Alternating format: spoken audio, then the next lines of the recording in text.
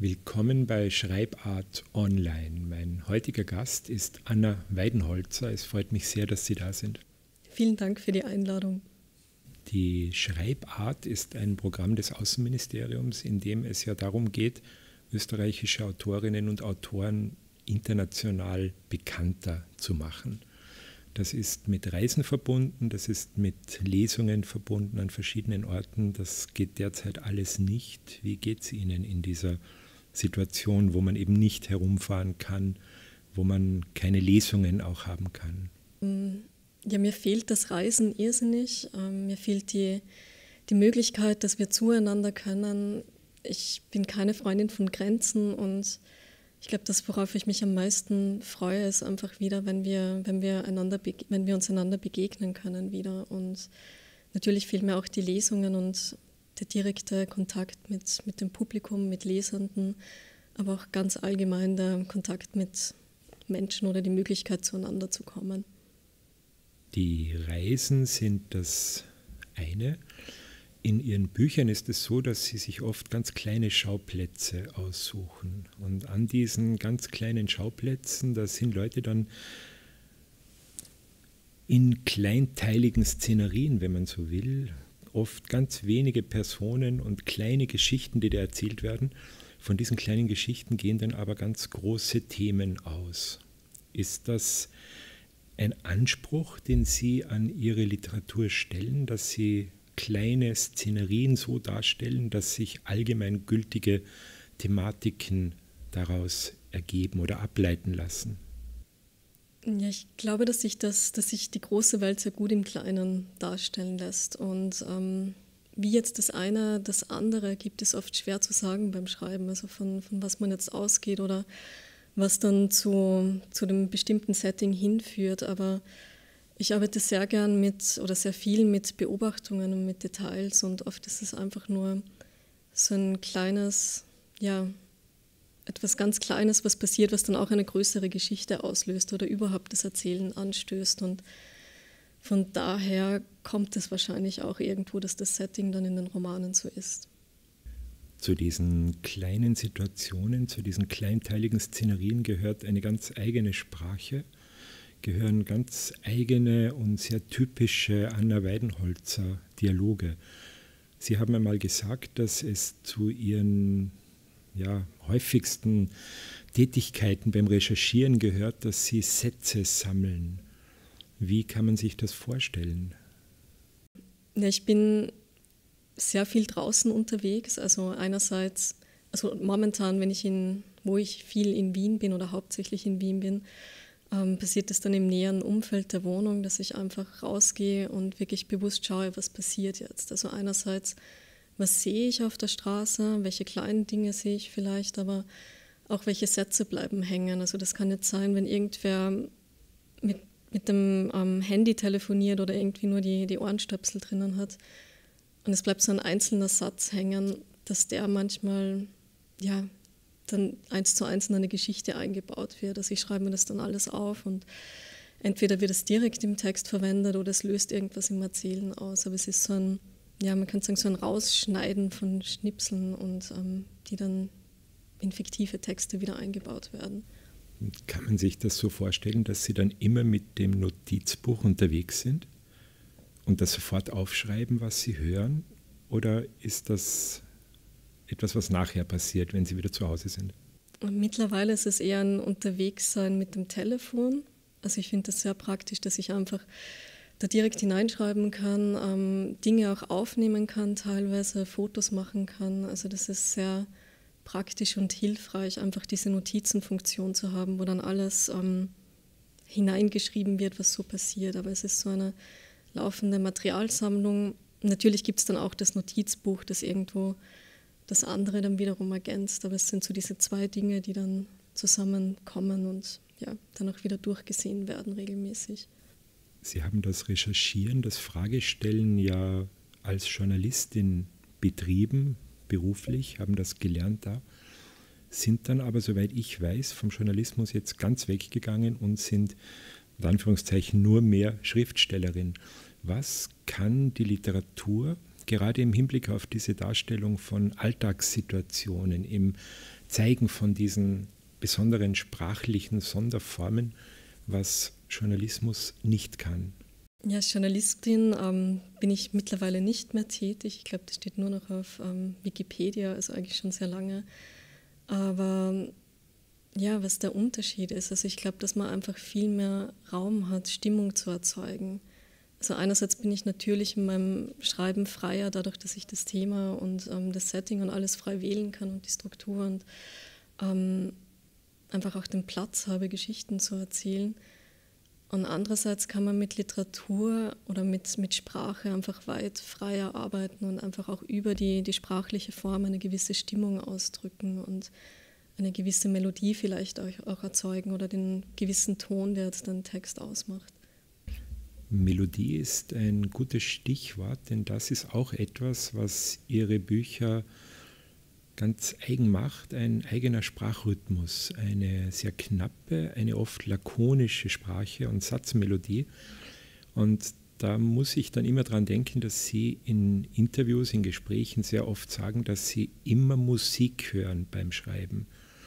Hat das mit dieser Satzmelodie zu tun, mit dem Rhythmus oder hören Sie Musik wegen der passenden Texte? Gibt es eine bestimmte Musik für bestimmte Texte oder ist das ja eine Stimmungsfrage? Ja, Musik ist, ist ganz wichtig für mich beim Schreiben. Also Schreiben beginnt immer damit, dass ich meine Kopfhörer, also es sind so große Kopfhörer, aufsetze und Musik höre. Und ich kann jetzt nicht sagen, inwiefern sich das dann genau auf die, auf die Textmelodie überträgt, aber es hat auf jeden Fall etwas mit dem mit der Schreibhaltung zu tun oder mit, mit der Schreibmelodie oder mit, vielleicht mit dem melodiösen Zugang zum Schreiben, aber es braucht immer Musik. Also es gibt dann für jeden Text ähm, eigene, eigenen Soundtrack sozusagen und oft ist es auch so, dass ich, wenn ich merke, ich kann jetzt nicht weiterschreiben, dass es einfach auch eine Zeit braucht, bis ich die richtige Musik wieder habe, um jetzt wirklich an dem Text weiterarbeiten zu können. Also es gibt bestimmte, bestimmte Musik für bestimmte Texte auf jeden Fall. Und ähm, ja, auch bestimmte Musik für bestimmte Figuren innerhalb der Texte. Die hören dann teilweise auch Musik, die ich jetzt so außerhalb des Schreibens vielleicht nie hören würde, aber es passt genau zu dieser Figur und die Figur braucht diese Musik in dem Moment. Etwas, was in sehr vielen Ihrer Bücher vorkommt, ist die Soziologie. Mir fällt auf, dass vor allem in den letzten beiden Büchern das Fragestellen eine große Rolle spielt und im neuen Buch jetzt weniger das Fragestellen, sondern da gibt es eine Figur, die Professorin, die an den absurdesten Stellen eigentlich irgendwelche Forschungsergebnisse preisgibt, von irgendwelchen soziologischen Experimenten berichtet. Das passt dann aber immer sehr gut zum Geschehen und erklärt auf einer anderen Ebene vieles, was dann passiert. Wie kommt es zu dieser soziologischen Schlagseite Ihrer Texte? Ja, das, ähm, das soziologische Interesse habe ich wahrscheinlich von, von Kind auf irgendwo mitbekommen. Also mein, mein Vater hat ähm, Soziologie studiert, ähm, unterrichtet als Uniprofessor und ähm, insofern bin ich einfach groß geworden mit diesen Themen und das hat sich auch irgendwo geprägt und ich merke einfach beim, ähm, ja, ich, es ist einfach so, wenn ich, wenn ich Themen suche oder manchmal sucht man sich ja die Themen nicht unbedingt, die kommen ja dann vielleicht auch von irgendwo, von Dingen, die man jetzt beim, beim Lesen entdeckt oder irgendwo, ja, irgendwo im Radio vielleicht hört oder so, ähm, dass das dann einfach die Themen sind, die mich ansprechen und die etwas auslösen und in Bewegung bringen. Das passt ja inhaltlich auch immer sehr gut, weil dieses soziale Zusammenleben, die Frage, wie man zusammenlebt, etwas ist, was alle ihre Texte auch wieder prägt. Im letzten Buch war es die Frage nach dem Glück. Jetzt ist es eher die Frage nach dem zufriedenstellenden Zusammenleben, nach dem Zusammensein in verschiedenen Konstellationen. Das ist dann fast so etwas wie eine eh wissenschaftlich wirkende Annäherung an solche Lebenssituationen, wenn man ihre Texte daraufhin liest. Ist das auch etwas, was Sie selber so sehen, dass man schreiben kann, um eine soziale Konstellation besser zu verstehen, besser zu zeigen, besser darstellen zu können? Ja, es geht auf jeden Fall um das, um das Verstehen oder den Versuch des Verstehens. Also was diese Welt vielleicht ist, in der wir leben oder wie dieses Zusammenleben funktioniert oder wie wir als Gesellschaft überhaupt funktionieren und ähm, vielleicht auch wie groß dieses Wir ist oder wo die Grenzen des Wirs sind. Und ähm, ja, das, das beschäftigt mich auf jeden Fall. Also auch in meinem Recherche- oder Beobachtungsprozess, also der ist ja auch sehr stark durch den, durch den Alltag geprägt, also einfach durch das Hinausgehen, ähm, das Schauen, okay, wie, wie funktioniert jetzt der Alltag, der uns umgibt und was passiert vielleicht in Momenten, die jetzt absolut nicht spannend wirken auf den ersten Blick oder ja, was sind da die, die Kleinigkeiten, die vielleicht absurd sind oder genau dieses Leben irgendwo ausmachen. Ein bisschen absurd sind manchmal auch die Titel. Und zwar nicht, weil die Titel an sich absurd sind, sondern weil es so eine Art von Verfremdungseffekt ist, wenn man diese surreal anmutenden Titel und dann diese Beziehungskonstellationen nebeneinander sieht und liest. Sie haben vier Bücher bisher publiziert, einen Erzählband und drei Romane. Und in jedem Titel kommt ein Tier vor. Im ersten war es ein Hund, dann waren es Fische, dann Seesterne und im neuen ist es ein Schwan. Ist das Zufall oder gibt es da irgendein ein spezielles Interesse einfach, dass Sie Tiere immer einbauen müssen? Ich würde sagen, es ist ähm, Zufall und Absicht zugleich. Also eigentlich habe ich nach der Winter tut den Fischen gut, dem ersten Roman, den Vorsatz gehabt, kein Buch mit, ähm, mit Tier im Titel mehr zu schreiben. Dann waren die Seesterne da ähm, und dann war der Titel da und dann bin ich erst drauf gekommen, okay, es ist wieder ein Tier. Und ähnlich war es dann auch bei dem Schwan. Und mittlerweile denke ich mir, vielleicht waren das einfach auch die, die Zehnerjahre und das Jahrzehnt der Tiere. Also momentan habe ich wieder den Vorsatz, das nächste ähm, Buch ohne Tier im Titel zu schreiben und Vielleicht werden es jetzt dann Pflanzen oder irgendetwas anderes mal sehen, was dann wirklich dabei herauskommt. Sie werden heute ja auch eine Erzählung lesen, die kein Tier im Titel hat, sondern eine Zwiebel. Ist das dann quasi schon der erste Schritt oder hat das noch keine Bedeutung für den Titel des Erzählbandes, der gerade im Entstehen ist? Ja, ich bin mir da noch nicht so sicher, was genau passiert. Also vielleicht werden es auch noch Maschinen statt Pflanzen oder irgendetwas. Kann auch sein. In ihrem letzten Roman Finde einem Schwan ein Boot spielt die Kommunikationslosigkeit, wenn man so will, eine sehr große Rolle. Die Beziehungen in diesem Buch, ganz egal, ob das jetzt Liebesbeziehungen sind, ob das nachbarschaftliche Beziehungen sind, ob das Familienbeziehungen sind, die sind alle irgendwie davon geprägt, dass die Leute nicht miteinander reden, nicht miteinander reden können, dass sie Fragen nicht stellen, dass sie ihre Wünsche nicht artikulieren. Ist das etwas, was Sie in unserer Welt zunehmend wahrnehmen und daher so stark thematisieren, diese Problematik des Miteinander-Kommunizierens? Ja, schon. Also es, ähm, es ist auf jeden Fall diese Thematisierung von von dem aneinander vorbeireden oder auch aneinander vorbeileben. Also dass man vielleicht irgendwo in seiner Blase lebt und ähm, von anderen Leuten jetzt gar nicht so viel ähm, Ahnung unbedingt hat oder vielleicht viel mehr über diese Menschen spricht, das mit ihnen unbedingt. Und ähm, gerade in so einem nachbarschaftlichen Kosmos, wie jetzt auch in Finde einem Schwan im Boot, kommt es ja dann auch sehr gut zur Geltung, weil gerade dort ja auch noch vielleicht Leben oder, oder Lebensrealitäten aufeinandertreffen, die jetzt unterschiedlich sind, könnte man sagen. Ja. Zu dieser fehlenden oder nicht funktionierenden Kommunikation passt dann auch gut dazu, dass in diesen Beziehungen ja auch keine besondere Zuneigung vorkommt. Also das sind ja ganz andere Dinge, die diese Beziehungen prägen. Das ist oft eine Art von Kontrollzwang, Oft ist es irgendeine Konvention, die gesucht wird oder einfach der Wunsch, seine Ruhe zu haben und darum halt in dieser Situation zu bleiben, um jetzt nicht irgendwas Neues, irgendwas Ungewohntes beginnen zu müssen. Das führt dazu, dass einerseits eine sehr analytische Komponente auch da drin ist, wie sie auf diese Beziehungen schauen. Andererseits und fast noch mehr sind diese Szenen aber von einem sehr schwarzen Humor geprägt zum Teil. Wenn die Leute miteinander reden oder wenn sie eben nicht aussprechen, was sie eigentlich reden würden, man das lesen kann, was sie gern sagen würden, sie dann aber ganz etwas anderes sagen. Wie sehr ist dieser schwarze Humor etwas, was für Sie wichtig ist in Ihren Büchern?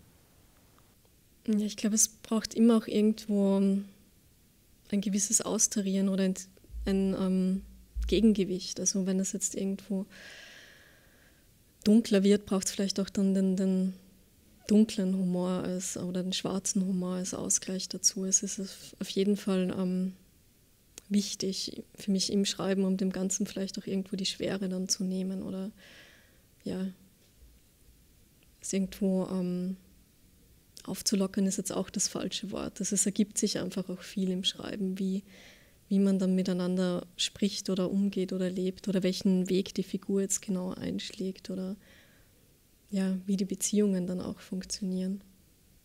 In diesem Roman, aus dem Sie dann ja auch lesen werden, Finde einem Schwan ein Boot, ist ja dieser Titel eigentlich schon ein sehr humorvoller. Es wird im Buch dann ja auch erklärt, dass es da eine Geschichte gibt von einem Schwan, der sich in ein Boot verliebt. Und das passt dann ja wunderbar zu den ganzen Beziehungen, die in diesem Buch vorkommen. Wie kam es zu diesem Titel? Die Geschichte mit dem Schwan ist eine Geschichte, die es tatsächlich gegeben hat. Das war vor mittlerweile gut 15 Jahren, glaube ich, ähm, gab es den Schwan Petra. Und dieser Schwan war auf einem See in Münster in Deutschland unterwegs und war eine schwarze ähm, Schwänin und hat sich in ein Tretboot verliebt aus Plastik. Und ähm, diese Liebesbeziehung ist über einige Zeit gegangen und hat auch große mediale Aufmerksamkeit bekommen. Und es gibt dann ganz viele ähm, Untergeschichten. Also Petra hatte dann noch irgendwie, hat verschiedene Partner vorgestellt bekommen, damit sie sich in einen echten Schwan verliebten. Das hat nicht funktioniert. Und irgendwann war sie dann einfach verschwunden. Und ein paar Jahre später ist sie dann wieder aufgetaucht und war dann auch, es ist jetzt führt jetzt eigentlich zu weit, aber sie war dann in einer Beziehung mit einem schwarzen Schwan und ähm, es hat sich aber dann irgendwie der der Sohn in eine Ente verliebt. Also es ist irgendwie ganz ähm, wirre Beziehungsgeschichten, die in dieser ähm, Schwanen, ja, Schwänin stecken. Und das war irgendwo so diese Geschichte, die, die dann ähm, die Schwester von Peter, einem der Protagonisten im Buch, erzählt und einfach auch sehr gut passt zu diesen Beziehungsgeschichten oder zu diesen Beziehungswirrnissen in dem Text, in dem Roman, ja. Das Buch nimmt im Lauf der Handlung neben all diesen Beziehungsgeschichten und neben all diesen auch humorigen Stellen eine sehr politische Wendung und wird eigentlich zu einem, wie ich meine, politischeren Text als alle ihre bisherigen Bücher mit einer ganz interessanten Aussage. Wenn ich richtig liege, dann könnte man ja so sagen, dass dieses Buch zeigt, dass der Faschismus oder wie immer man es nennen will, in uns liegt, aus uns kommt und dadurch eigentlich zum Vorschein kommt, dass wir die Dinge, die uns eigentlich angehen, nicht aussprechen, dass wir uns Konventionen beugen, dass wir irgendwelchen Systemen einfach Recht geben, um unsere Ruhe zu haben, so wie das im Buch auch passiert.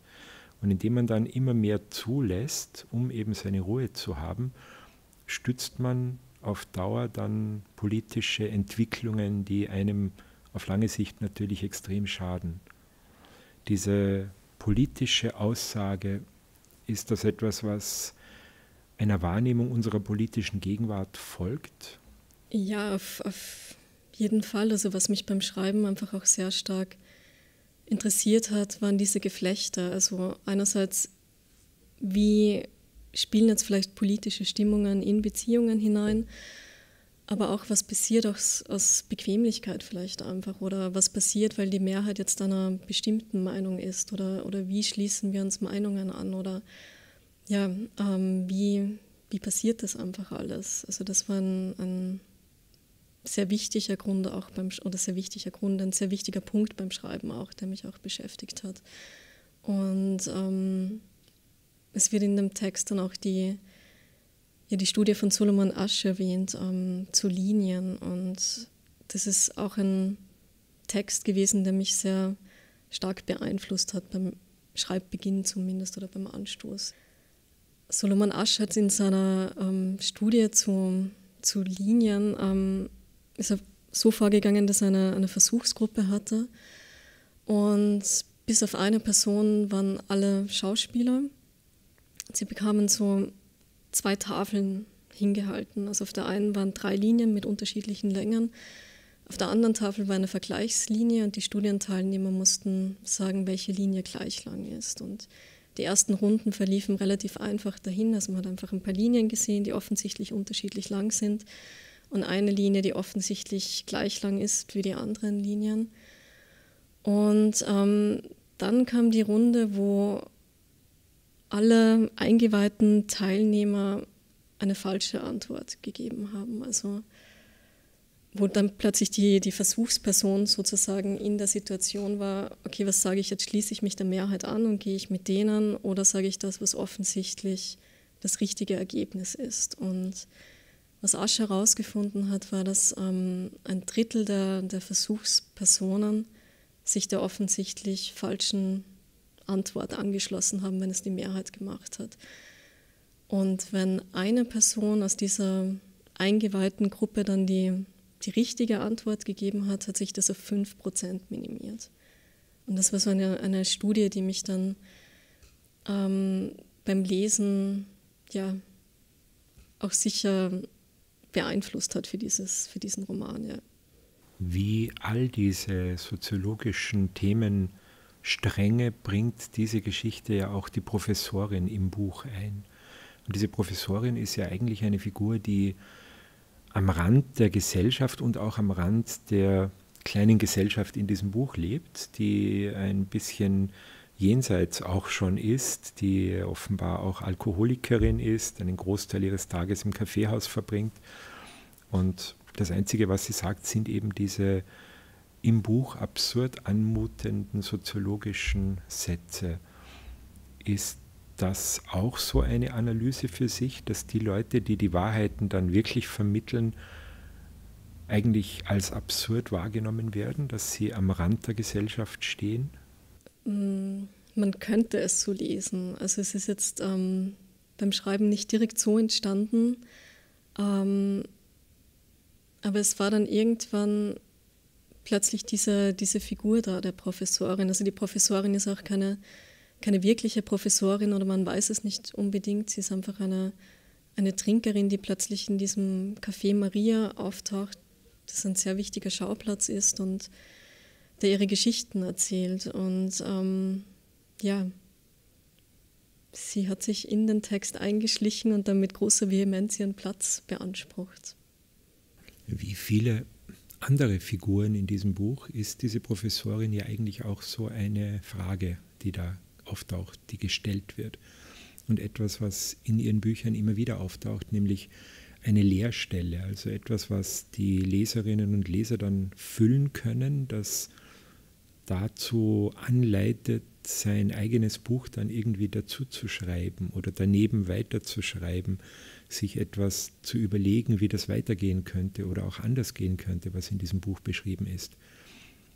Wie wichtig ist Ihnen dieses Erzeugen von Leerstellen, dieses Reduzieren der Aussage Ihrer Bücher, sodass ein großes Fragezeichen überbleibt und diejenigen, die diese Bücher dann lesen, quasi selber weiterschreiben, weiterdenken können. Die Lehrstellen ähm, haben auf jeden Fall eine große Bedeutung für mich. Also es ist so etwas, was mich ständig beim Schreiben beschäftigt, wie weit ich zurückdrehen kann. Also wie weit kann ich jetzt zurückdrehen im Text, dass er vielleicht umso heftiger dann entgegenschlägt. Also ich glaube, dass es gut ist oder ähm, ja, ja, ich glaube, dass es gut ist, Dinge auszusparen und nicht alles auszuerzählen und möglichst viel Freiraum auch zu lassen. Also einerseits um dem Leser, der Leserin diese Art Freiraum zu geben, aber auch bei, bei mir in meinem Schreiben. Also mir kommt es dann schnell einfach auch zu viel vor, ein zu viel an Erklärungen, ein zu viel an, ähm, ja, an Text. Aber gleichzeitig ist es dann auch eine sehr, ein sehr starkes Hinschreiben auf Details. Also es ist so eine Mischung. Vielleicht ist es auch so wie beim Humor, so dieses Gegengewicht, das es dann braucht. Also einerseits dieses genauer hinschauen auf Details und auf Kleinigkeiten und andererseits dann aber auch dieses Aussparen und ähm, Freiraum lassen, leerstellen. In der ersten Lesestelle sind wir ja zu Besuch bei einem ganz besonderen Paar, bei Carla und Heinz. Die Carla hat irgendwie so ein bisschen Blockwart-Charakter in diesem Wohnblock, um den es da geht. Und auch ein Chinchilla spielt eine große Rolle, nicht nur im Leben der beiden, sondern überhaupt in dem Buch. Wir sangen es doch, als Heinz ein paar Wochen später seinen Geburtstag feierte. Einen runden, er wollte uns nicht verraten, wie alt er wurde, und weil es Heinz Geburtstag war, fragten wir nicht nach. Er hatte mehrere Gäste geladen. Zu zehn sollten wir in diesem Abend um den viel zu kleinen Esstisch im Wohnzimmer sitzen und nicht im Café Maria, wo Heinz sonst alle Ereignisse feiert. Maria war seit einer Woche krank. Das ist, weil die Professorin bei ihr gewesen ist, hatte Heinz ein paar Tage zuvor ins Telefon gesprochen. Im Hintergrund hörte ich Carla. Ich konnte nicht einordnen, ob sie zustimmte oder widersprach. Heinz hätte zu diesem Zeitpunkt viel darum gegeben, die Professorin einmal gesehen zu haben, aber es gelang ihm aufgrund seiner Arbeitszeiten nicht. Er sprach trotzdem viel über sie. Von ihrem Auftreten um Punkt 16 Uhr, dem trockenen Husten, der das Öffnen der Tür begleitet, der Zielgerichtetheit, mit der sie den zweiten Barhocker von links ansteuert, und davon, dass sie auch nach dem zweiten Glas nie ihren Mantel ablegt.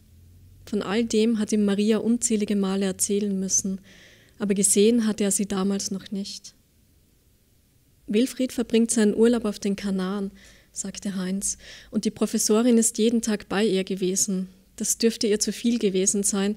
Maria ist ansonsten robust. Die Professorin kommt nur, wenn Weine Wilfried geschlossen ist. Wilfried betreibt sein Lokal zwei Bushaltestellen weiter. Im Gegensatz zu Maria bezeichnet er es nicht als Café, sondern als Bar, aber ansonsten ist nicht viel Unterschied. Die gleiche Holzvertäfelung, der Raum vielleicht ein bisschen größer aber das Café Maria beherbergt in etwa gleich viele Dekorationsobjekte wie Weiner Wilfried. Und anders als Maria schließt Wilfried fünf Wochen im Jahr, um Urlaub zu machen. Die Stammgäste würden eine andere Bar finden, sagt er, und wegen der paar Menschen dürfe man nicht auf ein schönes Leben verzichten. Wenn Wilfried braun gebrannt aus dem Urlaub zurückkommt, sind die Stammgäste allerdings enorm verunsichert. Da sind sich Heinz und Maria einig. Dass es so kommen wird, hätten wir wissen müssen, sagte Heinz ins Telefon. Fünf Wochen im Jahr verlegt die Professorin ihre Nachmittage zu ihr. Und jedes Mal ist Maria danach krank. Und dass sie noch nie jemand von uns gesehen hat, obwohl sie seit Jahren Wilfrieds Urlaube im Café Maria verbringt, dass wir alle noch kein einziges Mal begegnet sind. Damit möchte ich jetzt nicht anfangen. Wie sie jedes Mal mit diesem Tonfall sagt, ihr kommt zu spät, das ist doch seltsam. Hätte ich nicht das eine Mal das benützte Sherryglas auf der, auf der Bar entdeckt, ich hätte es Maria nie geglaubt. Im Hintergrund war wieder Carla zu hören. Ich konnte nicht verstehen, was sie sagte, aber es klang genervt. Wie auch immer, sagte Heinz, Maria ist krank und deshalb verlegen wir die Feier zu uns. Anders als bei Carlas Geburtstag gab es dieses Mal keine Torte. Heinz hatte zu einer Abendveranstaltung geladen und er war der festen Überzeugung, eine Torte gehöre da nicht dazu. Am Vormittag, als Carla begonnen hatte, Eier in eine Schüssel zu schlagen, Eigelb von Eiklar zu trennen, behutsam in der Schale hin und her, hatte das zu einem großen Streit geführt, wie wir gleich bei unserer Ankunft erfuhren. Gerade als ich das zweite Ei aus dem Karton nehmen wollte, sagte Carla, während wir unsere Jacken auszogen, und wisst ihr, was er gesagt hat? Wir wussten, sie würde unsere Antwort nicht abwarten und suchten einen Platz für die Jacken. Carla stand neben uns und stemmte die Hände in die Hüften. Wir legten sie schließlich auf die Kommode, auf dem Kleiderständer war kein Platz mehr. Er war ohnehin immer so voll, dass nur wenige zusätzliche Kleidungsstücke Platz fanden, und die anderen Gäste waren vor uns gekommen. Peter seufzte, als sein Tele Telefon auf den Boden fiel. In letzter Zeit kam das häufig vor. Ich dachte mittlerweile, es würde ihm mit Absicht aus den Taschen rutschen, damit er sich bald ein neues zulegen könnte. Peter hatte immer noch kein Diensthandy und er wollte, dass sein Telefon zumindest so aussah, als wäre es eines. Langsam bückte er sich und hob es auf, wieder kein Sprung. Er seufzte erneut und Carla nickte. Spar dir deine Eier, hat er gesagt. Carla wollte gerade zum Rest der Geschichte ansetzen, aber wir gingen schnell ins Wohnzimmer zu den anderen Festgästen. Wir waren tatsächlich die Letzten. Ich warf Peter einen schnellen Blick zu, aber er ließ sich nichts anmerken. Ich weiß, wie unangenehm ihm solche Situationen sind. Jeder erhob sich von seinem Sessel, die Männer wurden uns der Reihe nach vorgestellt, ich kannte sie alle nicht. Das Chinchilla saß ruhig im Wohnzimmerschrank. Heinz hatte erst vor wenigen Tagen ein Zwischenbrett herausgenommen, was es ermöglichte, dass der neue Käfig nun auf der Höhe des Fernsehers im Regal Platz fand, statt der verstaubten Gläser, die stets auf besondere Anlässe warteten, statt der eingerahmten Bilder, die Carla und Heinz bei ihren Urlauben zeigten. Carla und Heinz auf einem Elefanten, Carla mit einer Schlange um den Hals, Carla und Heinz mit lachenden Gesichtern und jeder Menge Essen am Tisch, Heinz mit einem Glas Uso vor sich. Streng genommen sei der Käfig zu klein, war sich Heinz schon bei der Anschaffung sicher gewesen. Der alte war artgerechter, aber früher hatten Chinchillas auch noch nicht so viel Platz. Heinz hatte ihm dafür ein Laufrad gekauft. Es lag auf dem Couchtisch, es war noch nicht ausgepackt. Keine halbe Stunde nachdem wir Platz genommen hatten, spielte Heinz die ersten Akkorde. Wir wussten nicht recht, wie wir uns verhalten sollten, also taten wir es den anderen nach. Wir füllten unsere Gläser aus der Doppelliterflasche Wein, die Heinz zuvor auf den Tisch gestellt hatte. Wir lachten, als alle in ein Lachen einstimmten. Wir hängten uns ein und schunkelten zum Takt der Musik. Drum wer im Jänner geboren ist. Es war das erste Mal, dass ich Heinz singen hörte. Er hatte eine kräftige Stimme, es überraschte mich nicht. Steht auf, steht auf, steht auf. Zwei Versicherungsvertreter erhoben sich. Ich hatte damals schon vergessen, wie sie hießen. Es waren hauptsächlich Versicherungsvertreter anwesend, Kollegen von Heinz. Konkurrenten sagte er nicht, zumindest nicht, während sie um seinen Tisch saßen. Der Sessel des einen stand zu nahe bei der Wand, weshalb er sich langsam erhob und eine seltsame, halb sitzende, halb stehende Haltung einnahm und nimmt sein Gläschen in die Hand. Die Männer hielten ihre Gläser hoch, wir alle blickten zu ihnen auf und sauft es aus bis an den Rand, sauf aus, sauf aus, sauf aus. Heinz klatschte in die Hände, als der Erste sein Glas laut auf den Tisch stellte. Der Zweite, der Zweite konnte nicht so schnell trinken, was vielleicht auch mit seiner Haltung zu tun hatte. Der Wein tropfte aus seinem linken Mundwinkel auf das Hemd. Bei der nächsten Runde begann Heinz und vollendete seinen Satz nicht. Er war schon bei der zweiten Strophe angekommen. Drum wer, drum wer im Februar geboren ist. Im weiteren Verlauf unterbrach Heinz jedes Mal sein Ziehharmonikaspiel, wenn jemand sein Glas geleert hatte. Er klatschte in die Hände und gab Carla ein Zeichen, die das Glas daraufhin sofort wieder füllte. Erst dann spielte er weiter.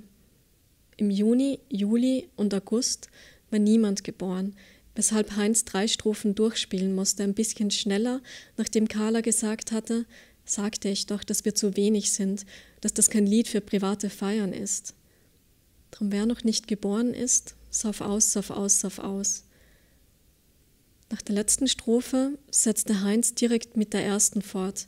Die beiden Versicherungsvertreter erhoben sich wieder, der eine aufrecht, der andere gebückt, so nahm alles seinen Gang. Der Wein war viel zu süß. Ich wünschte, sie hätten ihn gespritzt, zumindest mit Cola, aber Heinz wollte, dass heute mehr getrunken werde. Keine halben Gläser. Runde Geburtstage müsse man feiern, wie sie fielen. Der Versicherungsvertreter bei der Wand stand noch gebückter als zuvor, der andere hielt sich am Tisch. Drum wer im Juni geboren ist. Ein drittes Mal näherten wir uns dem Sommer. Mittlerweile sangen alle mit, der Text war leicht zu merken.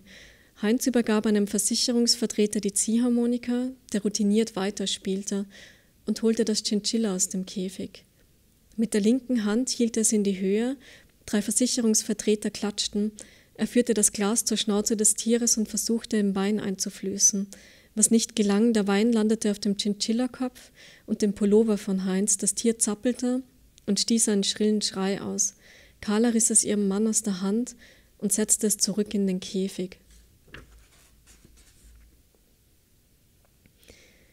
Soll froh sein, sagte Heinz, als alle still waren. Anderswo wird es zu einem Mantel verarbeitet. Er übernahm wieder die Ziehharmonika, aber in den Blicken, die er dem Chinchilla zuwarf, war zu erkennen, dass er ein schlechtes Gewissen hatte. Er spielte sich schnell durch die nächste Strophe, leiser als zuvor. Chinchillas dürfen niemals nass werden, niemals, hat er uns einmal erklärt, als wir auf dem Balkon saßen und es regnete. Nässe tötet Chinchillas. Ich erinnere mich noch gut an Carlas düsteren Blick. Das war an jenem Tag gewesen, als Heinz zum ersten Mal von seinem Plan erzählt hatte, den Käfig neben dem Fernseher zu platzieren. Auf dem Balkontisch lag eine Zeitschrift, Heinz schob sie zu uns hin. Seite sieben, sagte er und beobachtete Peter und mich, wie wir die Zeitschrift aufschlugen. Links oben. Anfangs sahen wir nur das Foto einer Frau, die lächelnd in ihrem Wohnzimmer saß. Dahinter, sagte Heinz, als wir nicht reagierten. In der Wohnwand standen fünf große Käfige. In der Mitte war der Fernseher untergebracht. Erst auf den zweiten Blick entdeckten wir die Meerschweinchen. Meinst du nicht, dass der Fernseher die Tiere stört? fragte ich. Heinz schüttelte den Kopf. Er wirkte fest entschlossen. Man kann den Ton leiser drehen. Das ist überhaupt kein Problem diese Erzählung, in deren Titel die Zwiebeln stecken und keine Tiere, die ist ja im Zuge eines besonderen Projekts entstanden, glaube ich. Ja, der, der Text, die Erzählung ist entstanden ähm, während des Aufenthalts an der Akademie der Künste in Berlin. Ich war dort mit einem Stipendium und es hat dann eine Ausstellung gegeben für diese Ausstellung habe ich gemeinsam mit der estnischen Videokünstlerin Lina Sieber ein Projekt gemacht. Und es ging um auch um den Moment des Beobachtens oder die Bedeutung des Alltags im künstlerischen Arbeiten. Also Lina hat ein ähm, Video gezeigt oder gedreht von einer U-Bahn-Situation, wo man verschiedene Figuren sieht, darunter auch zwei Männer, der eine macht Turnübungen, während er auf die U-Bahn wartet, der andere geht mit einem kleinen Hund und kurz vor der Rolltreppe nimmt er dann so diesen Hund unter den Arm und fährt die Rolltreppe hoch. Und ausgehend davon habe ich dann diese Erzählung geschrieben, wo ganz am Rande, ähm, oder es kommt sehr zentral ein Mann vor, aber es kommt auch ganz am Rande eine Beobachtung aus diesem Video darin vor. Und insofern ist es auch so dieser Nachzeichnung, Nachzeichnung gewesen des ähm, künstlerischen Prozesses oder wie Realität in, in Fiktion übertragen wird. Wo du die Zwiebeln finden wirst. Das sind Zähne, mit denen ich leben kann, sagte Rosa an dem Tag, als der Flachländer zu uns kam. Es regnete, es stürmte, die Blätter der Palme im Garten bewegten sich, als würde der Herbst nun endgültig zum Abschied winken. Am Brenner soll es schneien, sagte Rosa und fuhr mit der Zunge über ein neues Gebiss. Tut es weh? fragte ich. Sie schüttelte den Kopf. Du bist jung, sagte sie und drückte mit dem Zeigefinger gegen ihren Schneidezahn. Du musst erst lernen, dass eine Frau ganz anderes aushalten muss. Als Harald und ich beschlossen hatten, die Pension zu übernehmen, erwähnte er nicht, dass sie mit Rosa kommen würde. Er sagte, es ist gut, neben dem Obstbau ein zweites Standbein zu haben. Es ist besser, sich nicht nur auf Äpfel zu verlassen. Rosa hatte die Pension ein halbes Jahrhundert lang geführt und sie sah auch danach, mit Anfang 90, keinen Grund, nicht jeden Tag im Frühstücksraum zu sitzen. Am Vormittag trank sie ein Glas Grappa zur Belebung der Geister, wie sie meinte, am späteren Nachmittag ein Glas Rotwein das sei gut fürs Herz. Schau, sagte sie jedes Mal, wenn Harald die Stirn runzelte. Bis jetzt hat es gewirkt. Kamen Urlauber an, war Rosa noch vor mir bei der Tür, um sie zu begrüßen, auch an diesem regnerischen Herbsttag, als der Flachländer zum ersten Mal auftauchte. Flachländer waren Rosas Ansicht nach alle, die in Gegenden mit Bergen niedriger als 2000 Meter wohnten, und das traf auf die meisten Gäste zu. Warum ausgerechnet ihm dieser Name geblieben ist, ich weiß es nicht. Rosa schenkte dem Flachländer von Anfang an mehr Beachtung als allen anderen. Wie er die Schuhe abstreifte, bevor er den Frühstücksraum betrat, wie er den Stift hielt, während er das Gästeblatt ausfüllte. Als er mir den Kugelschreiber zurückgab, begann Rosa zu nicken, langsam und lange. Ich wusste nicht warum. Es war eine Geste, die ich noch nie zuvor an ihr beobachtet hatte. Er sei auf der Durchreise, sagte er. Ich hoffe auf einen ruhigen Schlaf. Bitte geben Sie mir ein Zimmer von der Straße abgewandt. Die Straße ist auf beiden Seiten, antwortete Rosa. Sie haben die Wahl zwischen Pest oder Cholera. Es fahren wenig Autos, unterbrach ich sie rasch. Auf beiden Seiten können Sie die Berge sehen. Das ist der Vorteil, wenn man sich in einem Tal befindet. Vorausgesetzt, Sie mögen Berge. Manchen fällt es schwer, mit ihrem Anblick umzugehen. Cholera bitte, sagte der Flachländer und schaute dabei Rosa an, die wieder zu nicken begann. Ich reichte ihm den Schlüssel zu Zimmer Nummer 6. Ein unauffällig gekleideter Mann, der sich gut an die Umgebung anpasst, dachte ich. Vielleicht ist ihm Rosa deshalb zugeneigt. Sportschuhe, eine beige Hose, wie sie manche Bewanderungen tragen, andere wiederum generell im Alter, ein kariertes Hemd. Vielleicht, weil ich mir den Flachländer lieber als sportlichen Mann vorstellte, erzählte ich, dass wir im Frühjahr ein Schwimmbecken bauen würden. Wir haben die Pension gerade erst übernommen, bald wird alles schöner sein. Sie haben geheiratet? Wie bitte? Das Foto dort, das sind doch Sie. Am späten Nachmittag brachte der Flachländer Blumen und eine Karte. Rosa saß schon bei einem Glas Rotwein. Nur wer sich blamieren will, trägt einen Blumenstrauß wie eine Fahne vor sich, flüsterte sie, als sie ihn zur Tür hereinkommen sah. Rosa, bitte. Ich stellte die Karte in die Vitrine neben das Billet, das sie uns zur Hochzeit geschickt hatte. Herzlichen Glückwunsch zur Vermählung. Schaut, dass ihr niemandem das Herz brecht. Es wäre schade drum. Ich holte eine Vase. Als ich wieder zurück in den Frühstücksraum kam, hielt Rosa den Strauß mit beiden Händen und roch an den Blumen, Rosen und Schleierkraut. Der Flachländer war ein traditioneller Mann. Über die Jahre wurde die Regelmäßigkeit zu seinem auffälligsten Merkmal. Immer am 21. 21. Oktober tauchte der Flachländer auf und verlangte nach Zimmer Nummer 6. Kein einziges Mal hat er sich angemeldet. Es wäre auch nicht nötig gewesen. Er kam, streifte seine Schuhe ab und nahm im Frühstücksraum Platz, um, den, um das Gästeblatt auszufüllen. Danach ging er zügig die Stiege hinauf. In seinem Zimmer bemerkte er selbst die kleinste Veränderung. Der Tisch war verschoben, die Gästemappe lag auf dem linken Nachtkästchen statt auf dem rechten, der Sessel war zum Fenster statt zum Fernseher hin ausgerichtet. Was auch immer, sobald er sein Zimmer betreten hatte, ordnete er alles wieder so, wie er es bei seinem ersten Aufenthalt vorgefunden hatte. Als Harald begann, die Zimmer neu zu dekorieren, kleine aus Holz geschnitzte Äpfel aufzustellen, die alten Bilder, die noch aus Rosas Zeiten stammten, durch neue von Apfelhainen zu ersetzen, dachte ich nicht daran, was das für den Flachländer bedeuten könnte. Schön, sagte ich, und Harald lächelte. Wenig später, am 21. Oktober, stellte der Flachländer sofort nach seiner Ankunft alles auf den Gang und verlangte nach Rosas Bild. Mit der Zeit versuchte ich, vor seiner Anreise den ursprünglichen Zustand des Zimmers wiederherzustellen. Aber es war nicht einfach. Die Gäste nahmen eigenmächtig Veränderungen vor, die mir nicht immer auffielen. Umso mehr wunderte es uns alle, dass der Flachländer den Kater akzeptierte, obwohl der erst im vierten Jahr eingezogen war. Ein roter Kater, dem die Hälfte des Schwanzes fehlte und der zum dicksten Kater des Tals werden sollte. Beim Frühstück gab es niemanden, der ihn nicht fütterte. Harald war sich sicher, die Gäste taten das nicht aus Zuneigung, sondern aus Angst. Das Tier wusste, wie es seinen Willen durchsetzte, und es schrie in einer Lautstärke, die durch Mark und Bein ging, was es unmöglich machte, ihm den Zutritt zum Frühstücksraum zu verwehren.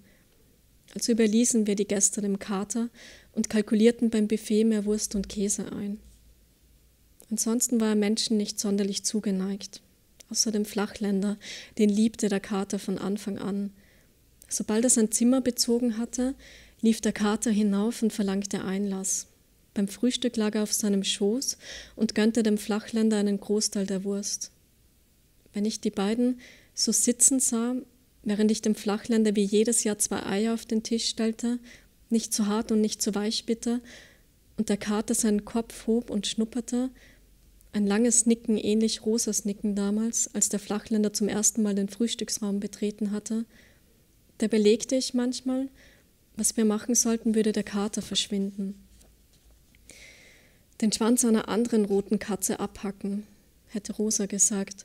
Du überschätzt die Erinnerung unserer Urlaubsgäste meiner Urlaubsgäste, und du hast ihn nicht gekannt, hast ihn nie miauen gehört, so einen Schrei vergisst man nicht. Die ganze Nachbarschaft merkt, wenn unser Kater unzufrieden ist. Dein Mann würde das bestimmt gut können. Er schneidet Obstbäume mit einer Präzision, die ihresgleichen sucht. Harald würde das nicht tun, da war ich mir sicher. Selbst wenn er auf Rosas Seite wäre, würde er sagen, der Aufwand sei viel zu groß. Und tatsächlich kam der Tag, an dem sich zeigte, wie wenig er vom Flachländer hielt. Von den meisten Tagen kann ich mit großer Sicherheit behaupten, ich hätte ihren Ausgang geahnt. Es ist wie im Supermarkt. Du gehst hinein und weißt genau, wo du die Zwiebeln finden wirst, weil du seit Jahren dort einkaufst. Und dann haben sie plötzlich umgestellt und vor dir liegen Knoblauchknollen statt Zwiebeln. Ich könnte sagen, so verhielt es sich, als Harald mit dem Dackel kam. Aber der Dackel war keine große Überraschung. Harald hatte schon länger von Hunden gesprochen, dass es gut wäre, einen zum Jagen zu haben. Nein, das war es nicht. Es passierte an dem Tag, der als der verlässlichste des Jahres galt. Am 21. Oktober hatte ich im Zimmer Nummer 6 den Originalzustand wiederhergestellt. Alles war für den Flachländer vorbereitet. Nur an das Eichhörnchen hatte ich nicht gedacht.